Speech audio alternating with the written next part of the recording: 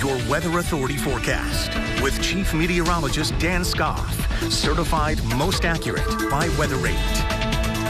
Maybe there's a correlation to the uh, soccer team for the Razorbacks. They're heating up. They're number one in the nation, and the temperatures are heating up. Shouldn't be this way in October. Look at the morning lows, though 41 degrees, and that's a little cooler than we should be, but don't get used to that. Temperatures are going to warm in the mornings and especially in the afternoons. Here's a time lapse from our WeatherBug Network camera. The Zing PG Telco WeatherBug Network camera. Love this shot, and you can see that cloud cover non-existent today. A lot of sunshine. We got our cameras ready for fall foliage.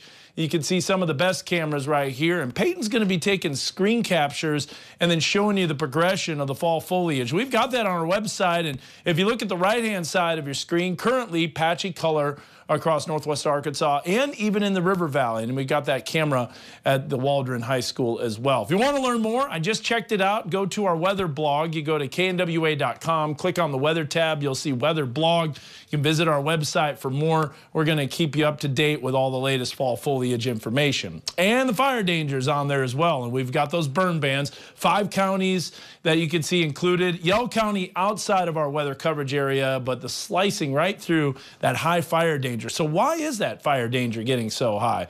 Well, we'll have that in just a bit, but it's H-O-T-T-O-G-O at the Walmart Amp tonight, Chappell Roan. And by the way, Chappell Roan is a sold-out show. Look at that line, by the way. I'm going to go back to that real quick, and you can just see that's the line for General Admission. Goes all the way back to Top Golf, and then you can see the line to get into the Cherokee uh, Cherokee area.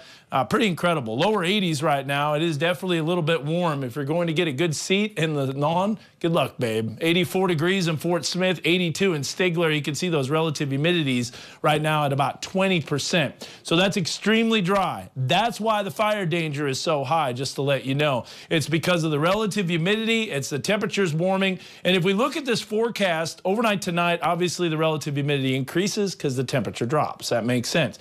Once that temperature starts to climb during the afternoon tomorrow, those relative humidities will be in the mid 20s for percentages. Now, the winds are light now because high pressure is shifting off to the east, but throughout the week, and especially later on in the week, those winds are going to start to increase. And you can see those winds sustained at about 10, 15, 20 miles an hour with some higher gusts way off to the west. So that's something that we will definitely watch.